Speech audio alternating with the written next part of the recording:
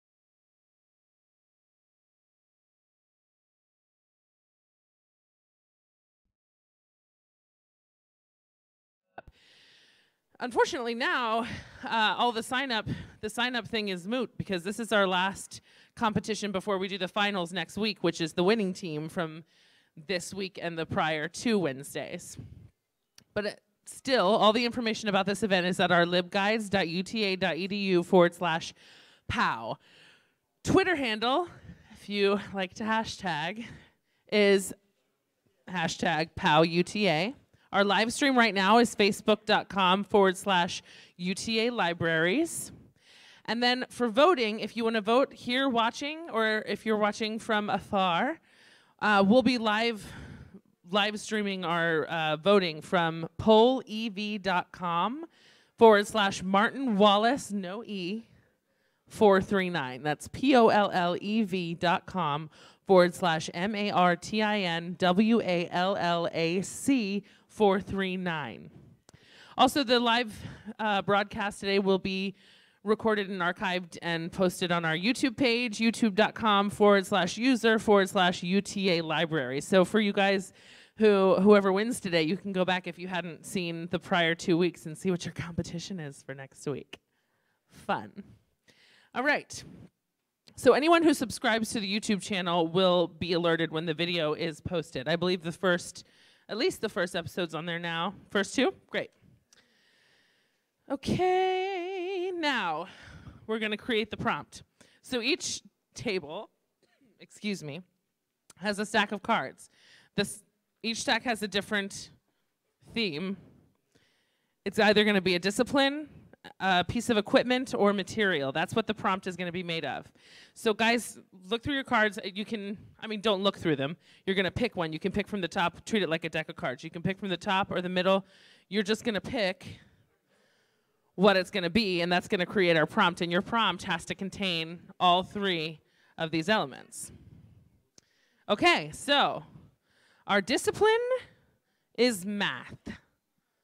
All right. Math is pretty much in everything. What is our equipment? Whoa. Vacuum molding mashing?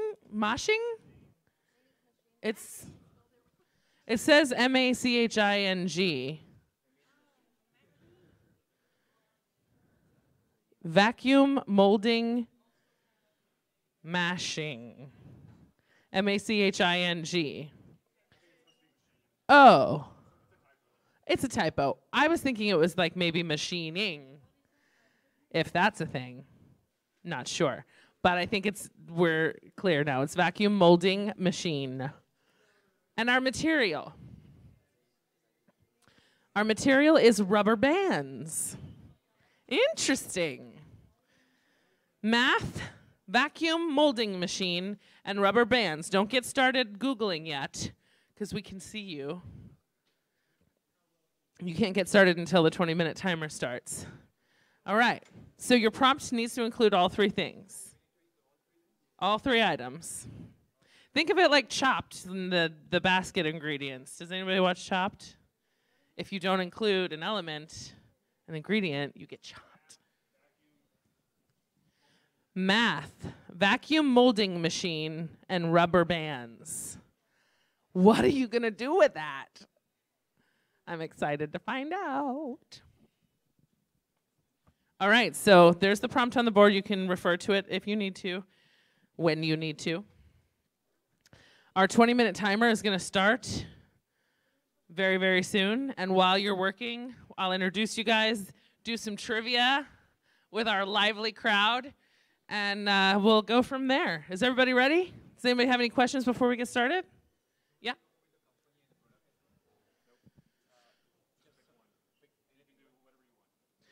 Yeah, so that's that's the the essence of the whole um, pitch. Whatever idea you come up with, if it's an invention, then that's it. If it's a if it's a business, you create that as well.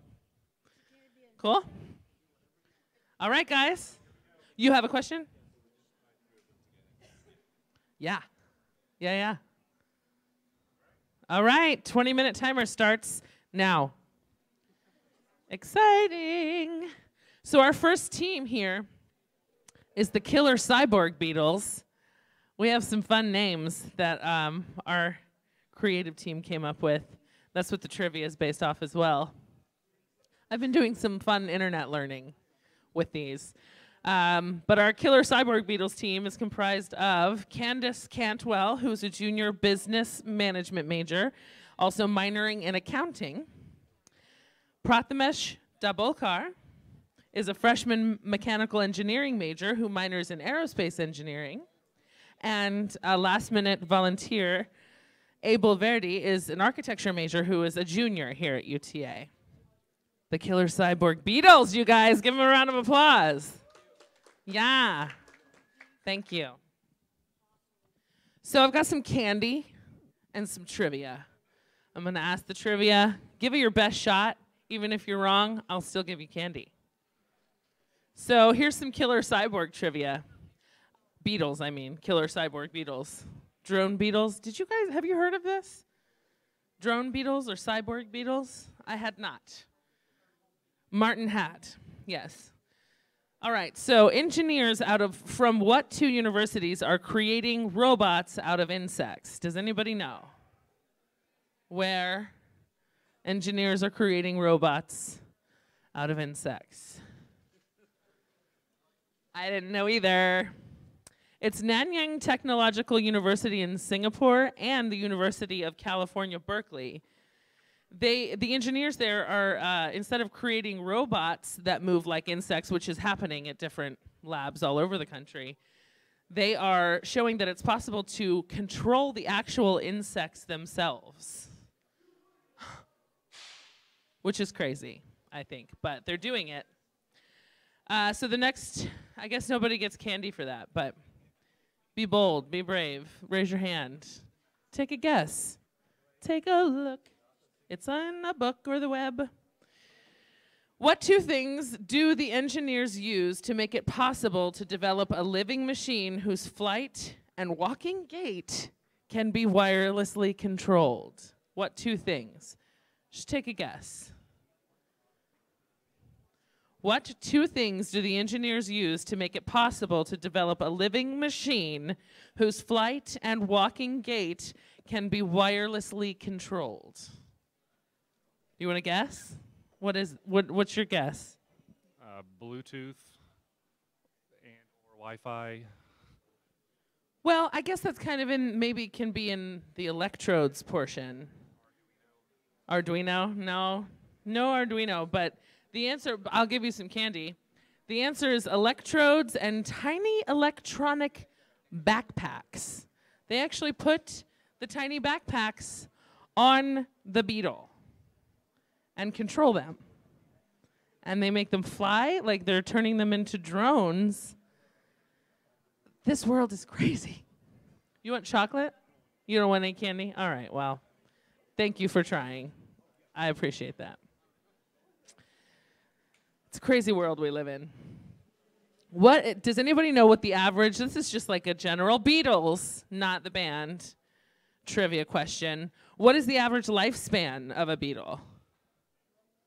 I'm think uh, there's two different species. I'm thinking of the bigger, like hard shell, kind of crazy species. Anyone? Yes, ma'am. Yes, Sunday Phillips. It is three to six months. What kind of candy would you like? You want like a sweet? I'll bring it to you, or like a chocolate. Sweet. Okay. Martin will deliver it. You did guess right. That's a good guess. It's three to six months. And uh, studies are showing, as they're studying this whole thing, as they're doing it, that there is no harm or stress done to the beetles when they're putting the tiny electronic backpacks on them. So don't worry. The beetles are fine, and they only live for six months, and then they're dead. Bye. Okay. Team two, the Beardy McBeardo faces. yep. Uh, all right, Cynthia Ochoa is here um, um, on my right, your left. She is a junior communications major who minors in broadcasting. And Karam Khalil over here is a junior operations management major who minors in real estate. That's correct, right? Awesome. And Whitney Adindu is a freshman nursing major. The Beardy McBeardo faces. Give them a round of applause. Yeah. Thank you. Everybody likes applause. So, I didn't know what Beardy McBeardface was or what beardos are. That's what populated the trivia for this.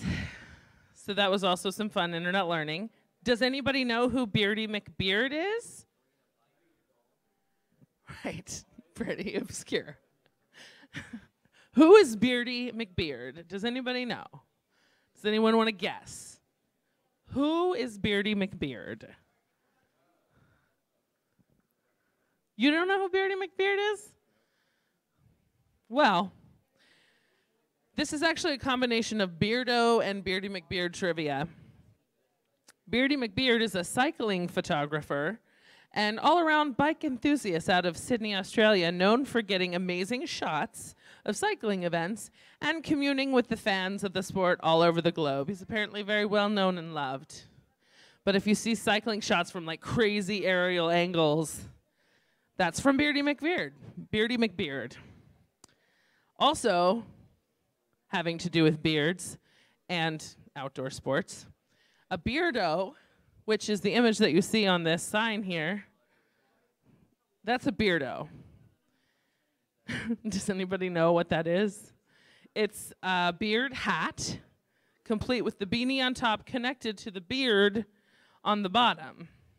And it was invented to keep the face warm during skiing and also be a little cheeky and entertaining. Who's that guy flying down the slopes with the beard? Oh no, he's got a beardo on. yep. The I'm gonna just go out on a limb and, and guess that nobody here knows who created the beardo. You might you might be surprised to learn that that person was Jeff Phillips, a Canadian-born winter enthusiast who has a passion for snowboarding. So that's where that came from. He was snowboarding and he was like, My face is cold. I'm going to knit myself a beard connected to a hat. And the beardo was born. You can buy it on the internet. All right. Does anyone just want candy for like a sugar jolt? Because I'm supposed to be giving out candy with each one of these, but we got no guessers today. All right, cool. So I'm going to introduce team three now, but before I do that, I'm just going to do a time check, guys. We're down to 12 minutes. 12 minutes and counting is what you have left to finalize your pitch. Now, team three is now, uh, I apologize for the slightly crude title of this team. The Lucky Poop Emojis is this team three here. I didn't pick the name. But there's actually some fun trivia attached to this. So we have um, last minute volunteer Philip Ochieng from, uh, he's the bio uh, junior biology major. Philip Ochieng, thank you so much for stepping in last moment. And Faithful Olalero. Did I say it right? Yeah. He's a sophomore aerospace engineering major. And they're a team of two working extra hard because everybody else has an extra brain, but I have all the faith in them. The lucky poop emojis, give them a round of applause. So I'm gonna, from here on out, say poo instead of poop, just because it's a little less offensive for me and maybe you. That's okay. Everybody knows the emoji, everybody uses it. So, what do people commonly mistake the lucky poo emoji as? Instead of, huh? That's close. Frosting is close, and I will give you candy. But it's not exactly right. Does anybody else want to take a guess? Here, you can have some candy. Anyone?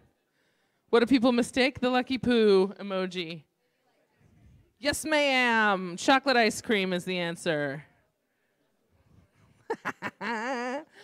Just a happy little pile of soft serve is what people think. But it, that's not actually it. It actually is poo. Does anybody know where the emoji movement comes from? Probably pretty easy to guess. Where do emojis come from? Who invented them and where? Yes, you are correct, Asami. you can have some candy. They originated in Japan in the early 90s. We have Japan to thank for so many things, including emojis.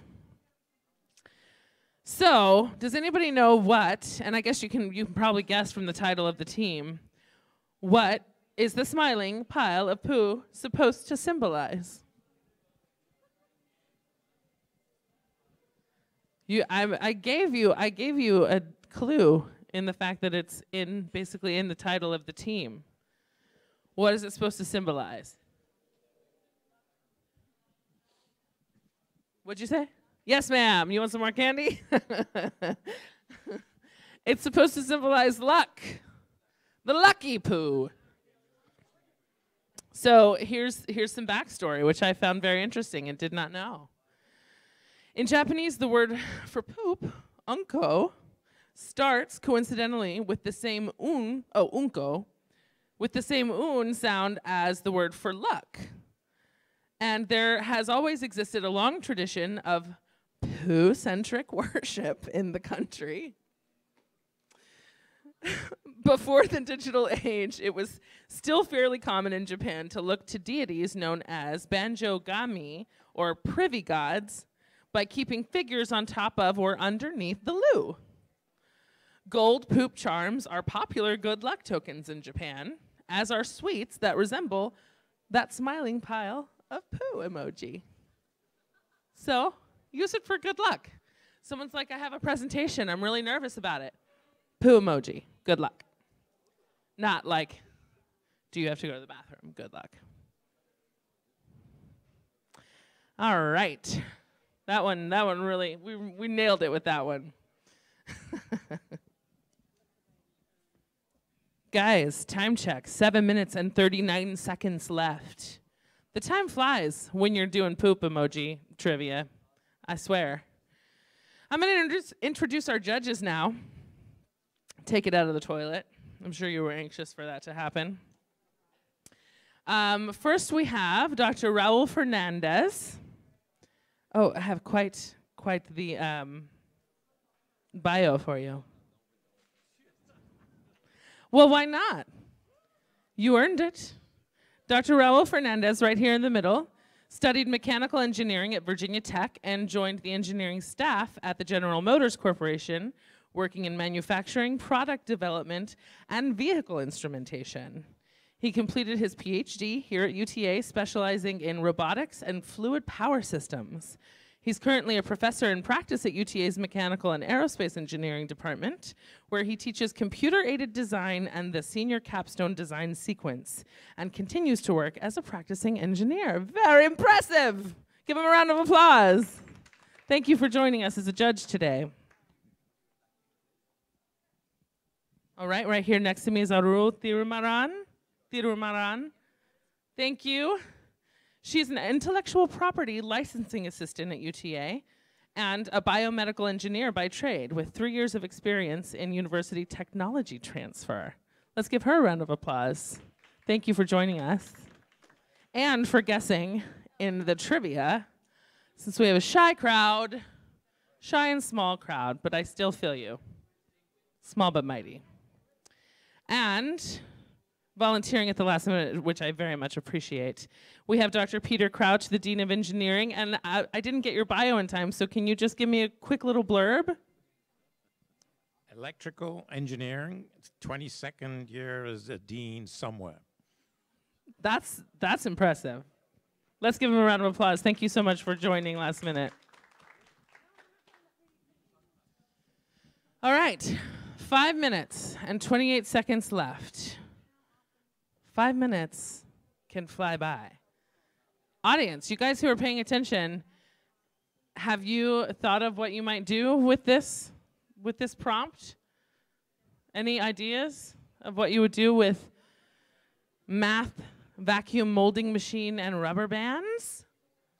We have a prior, um, previous contestant here who I'm going to ask and put on the spot. What do you think? Uh, I would probably, uh, since the discipline is math, you got the equipment is vacuum molding machine itself.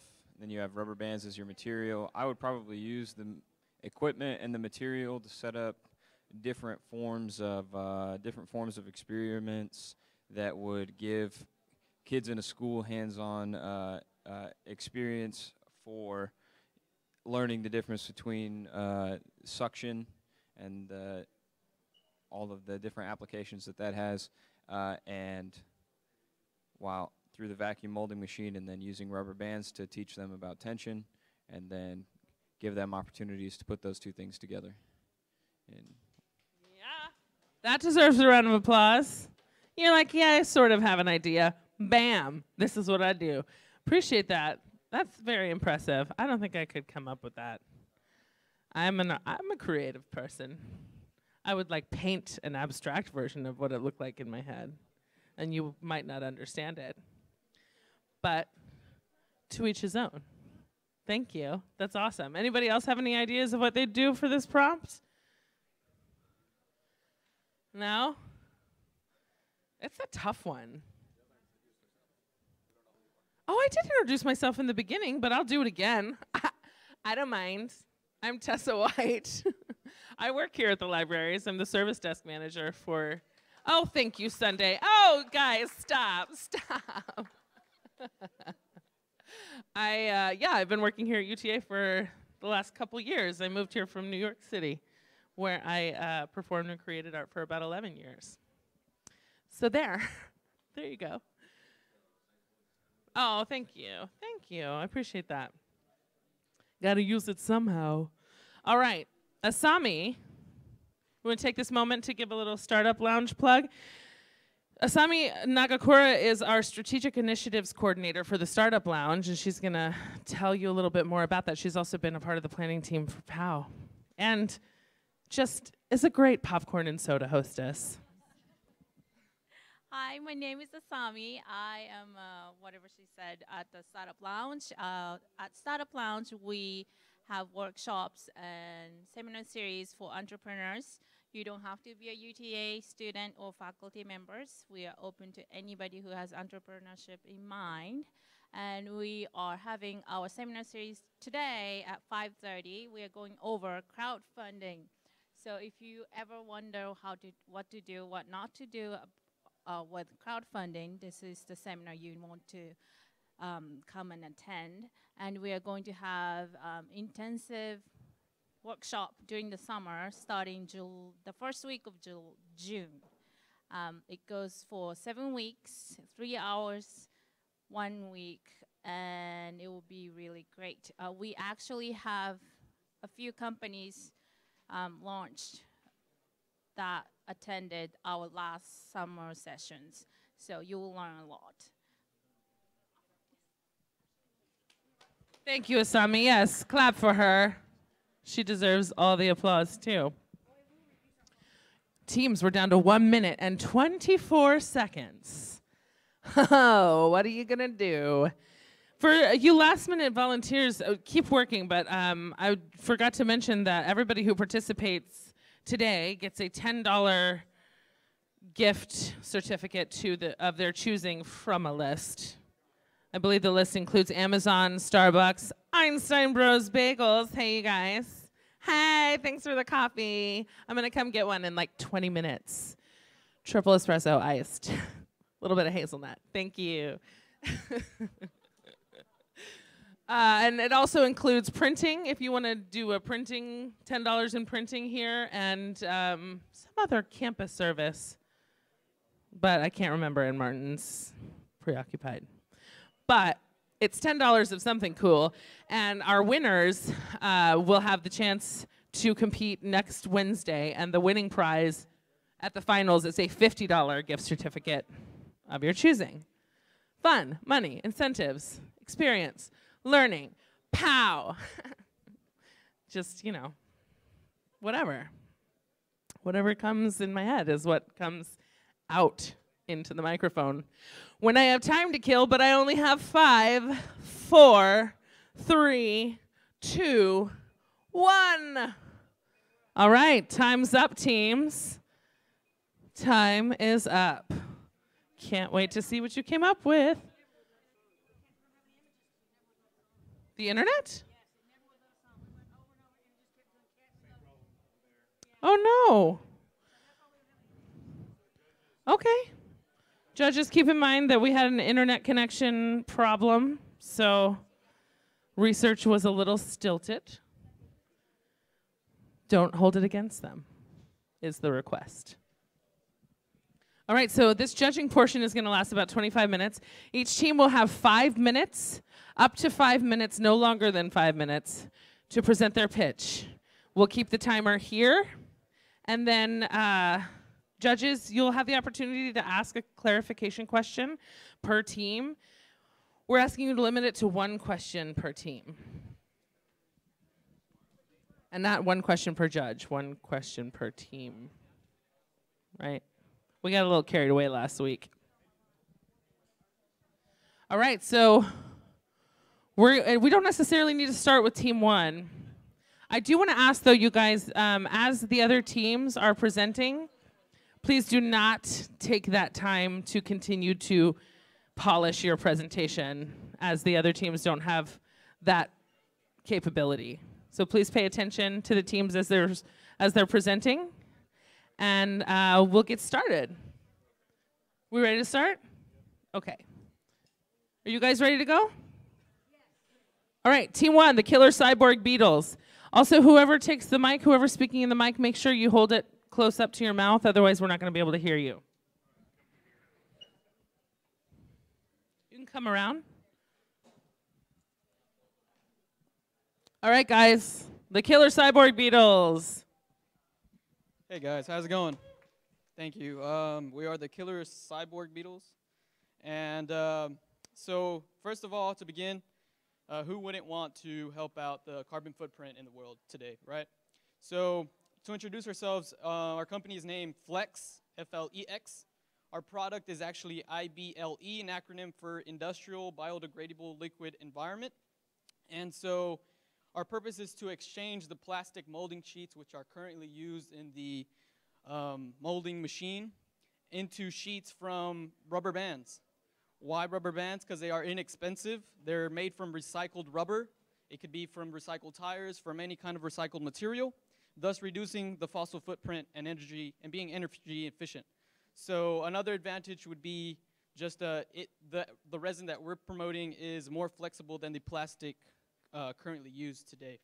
So that actually would be applicable to any company that's actually making molds today to be industrialized and have a product that would be made over and over again.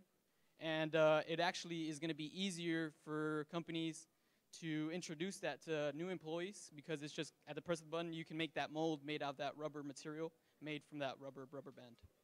So thank you. Do you guys want to add anything at all? Okay. Judges, do you have any clarification questions for team one?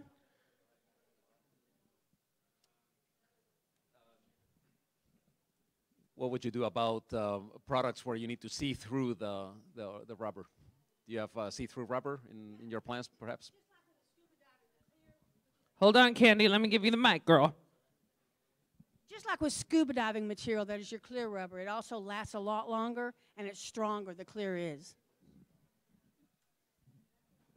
Stronger, the clearer it is. There's like double meaning or multiple meanings there. Stronger, clearer, transparency. Huh? All right. Uh, okay, so no more clarification questions. Team number two, are you guys ready to rock? All right, cool. Do you want to present from back there? Or somebody gonna come up here? If so, you can either awkwardly crouch or. Yeah, it should. I think you can swipe it over. Yeah, vacuum molding machine. Yeah, we got you over here. I don't. I'm not sure if it's your first slide. Clear ice. Okay, good. Remember to hold the mic up close to your mouth. You guys all coming forward. Lovely. The Beardy McBeardo faces. Ready? Hey, how's everyone doing today? Good, good. Can I see every single one of you smile? Can you smile? Can you smile? Can you smile? Oh, he's got good teeth. Are y'all, you're smiling too. You got uh, everybody got nice teeth. So what we have going right here is clear ice. You walk clear and you feel icy. You always feel fresh. You always feel good. What's the next slide? What we're doing with the vacuum molding machine is we're doing one mold per month. Do you guys see what's on my teeth? What is that? Braces, right? I got braces on my teeth. I have to keep these braces on one year, two year, three years, depending how messed up my teeth are, how much I didn't take care of them. So what we have here is we're creating one mold per month. If you're like me and you have to keep braces on for two years, that means I need how many molds? Are you a math major? 24 molds. That's exactly what we need. But the question is, what does this machine even do? So the the vacuum molding machine, what it does is it uses heat to create plastic, to mold the plastic into just about anything. So in our case, we're going to be molding this plastic into braces. So the cost of braces, me paying for these braces I have right here is I think around it was $4,800, $4,800, and they're not even the clear ones. So what we're creating is a molding that's clear, that's why the name is clear ice, and no one can see you have it on. It's like a retainer, exactly what I'm going to be wearing after these braces. And that cost, if you want to get it from the dentist, is how much? $8,000 per patient, which is extremely high in the sky. Do you know our cost is how much? $60 to create what we're trying to do. That gives us a huge margin of 7,000. The math major can answer the rest. Something dollars. And that's us playing with it. Now, you all know that dentists and doctors, they play around with the things. They know they can make this. But how are they going to make their money if they do it like this? You know that they have the treatments for cancer. But if they have the treatments, how are they going to make their money if they give it out to everyone? So we're in the same concept of what we are doing over here. You all see there is a true market for this, and you all see that there is a lot of money to be made in the industry that we are in. The math in our invention. It's distance of tooth divided by the maximum distance. So if my tooth has a 10 inch gap, which is huge, I'm going to measure 10 inches divided by how close I want them to come, and that's what gives us our formula for how we are going to use these Invisalign things. What are we going to do with these rubber bands? Well, with rubber bands, um, so with regular braces, you would need rubber bands to hold the alignment together. So with ours, we'll just provide the patient with rubber bands. So for the last two months, it will get their teeth really straight. So at the end of their whole cycle of the two years, they will have really straight teeth, and they'll need they wouldn't need the um our invention anymore because it's yeah. Thank you. Exactly what she said. I have brackets on top of here. I put a rubber band from the top to the back the last two months, and that brings all my teeth forward. And that's exactly what we're going to do with these rubber bands. So we have all these three things incorporated, and it's time to make money. So who wants to stay clear ice with our new straight teeth? Thank you. Awesome job, guys. Judges, do you have a clarification question for team two? You don't have to. This is your opportunity. All right. Well done, guys. Team three, the lucky poop emojis. Good luck. Your name says it. It says good luck in the form of. We, we've just, it's over. We're, we've talked it to death. I'm going to just be done with it. Are you guys ready? Hi, everyone. Uh, so my name is Faithful. This is Philip right here, and of course that's our group, the Lucky Poop Emojis. Uh, so first of all, we just want to talk about what the vacuum molding machine does, and we also apply to rubber and I mean to uh, plastic, and also rubber, and we'll go from there. So um, so vacuum molding machine is how we form plastics uh, by heating them up to a certain temperature, and so you melt the plastic, and also can you are able to form them into something else. And so Philip is gonna go from there. Uh, um, rubber is a tough, elastic uh, polymeric substance made from latex, la latex or tropical plant or synthetical. Uh, that's how they um, they get the rubber, and uh, for the rubber they use it to uh, make uh, tires, rubber bands, and stuff. Um, for us, we were thinking of um, recycling the rubber bands. Like they use rubber to get, uh, you know, the vegetables. They they wrap vegetables and stuff. That's one of the use of uh, rubber. But um, for us, we wanted to recycle the rubber, and we can um, do this to prevent the exhaustion of the resources. You know, because they use the rubber rubber trees to extract rubber. So we want to recycle it, and um, so we can uh, use it to modify other products like um, making of uh, non-conductive uh, materials for electricity, uh, shock absorbers, uh, and things that can reduce the resources exhaustion. Okay, so like you heard from him, our major idea here is trying to recycle rubber. And how this goes is we try to treat rubber like it is a plastic because you can actually deform rubber, like you can deform by eating it up, heating it up, and so, and try to reform another shape, just like what the vacuum molding machine is intended to do. So we do that, and by this we intend to cut waste. Of course, there already uh, we already uh, recycle rubber and things like that, cans and everything. But we, we intend to cut waste by um,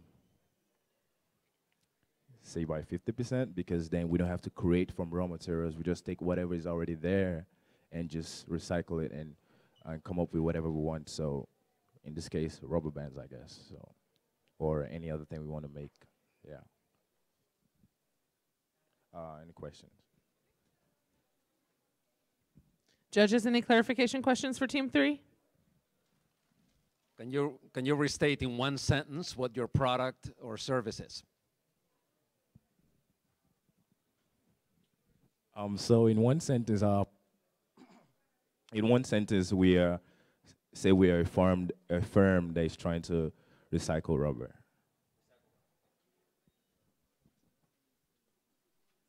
Thank you, Team Three. I'm gonna stop saying your name because I'm just at my limit. I'm, I, you know, there's th- a traditional girl inside. All right, so that's it for our pitches. You guys did a great job. Round of applause for all three teams. This is our live polling that's happening. Viewers at home and here today are voting at pollev.com forward slash Martin Wallace, no E, 439. P O L L E V dot com forward slash M A R T I N W A L L A C 439. Get your votes in. The judges are formulating their votes. We're going to give them a couple of minutes or so to do their magic and come up with the winner. Once the winner is decided amongst the judges, our live polling will be frozen.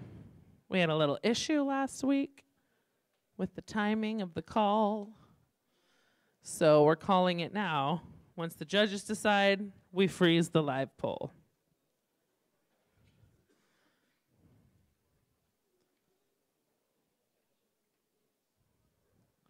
Exciting. Are you guys voting?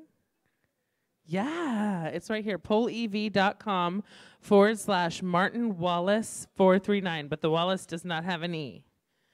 P O L L E V dot com forward slash M A R T I N W A L L A C 439. Don't put a camera in front of me and expect me not to pose. Don't make me sing. Everybody here at the party is asking me to sing. Anyone know that reference? Kristen Wiig, SNL?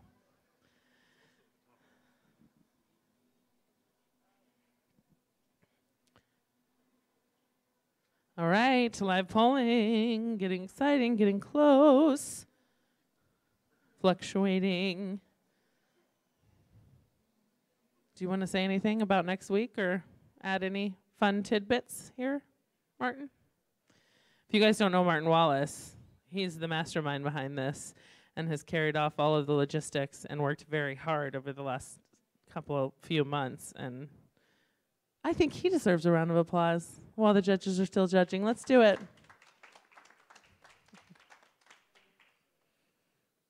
And you passed out candy too. There's no end to what you'll do to help the POW cause. How are we doing, judges? Are we getting close? In one more minute or so? You getting that vote in, Antoinette?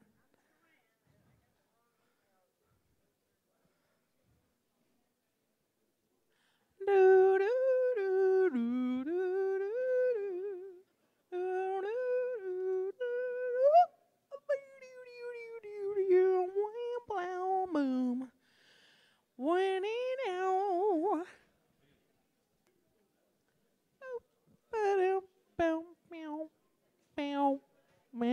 Boom, boom. That was kind of the time allotted. Okay. Okay. So we're in agreement? Yes. Okay. Winner is locked. No more vote. No more live voting. So the audience actually doesn't. The live voting doesn't determine the winner unless there is a tie between the judges, which is what happened last week. But this week, that is not the case. There's a clear winner amongst the judges, and that winner is Team Two, the Beardy McBeardo Faces. Yay, Team Two! Awesome job, you guys. So you'll come back next week, same time, same place, and compete for the winning prize. Judges, can you um, just take a moment to give feedback to our winning team, but also all three teams? Yeah, I'll say that I, I like the uh, the uh, eco theme of both uh, teams uh, one and three. So uh, good job on that. And uh, of course, you know, team one I think had a, a, little bit more refined thought process, you know, behind the the engineering of it. And of course, Team 2 is to be congratulated on the polished presentation and thought processes and the communication, the teamwork. You know, so. Team 2 was the only one who had an obvious use of math. Yeah, all three teams had uh, different focuses, and I really, I really liked all. But um, Team Two had a very clear view of what you guys did, and you had a good blend of all the three concepts and you presented it really well. So that's, I guess, that's what made you guys the winner. Thanks all three teams for presenting it to us. Thank you, judges. You guys, awesome job. Congrats, Team Two. We'll see you next week. Team One and Three, thank you for your hard work. I'm Tessa White. I'll see you next week. Come for the finals, April 26th, 12 p.m. Bye.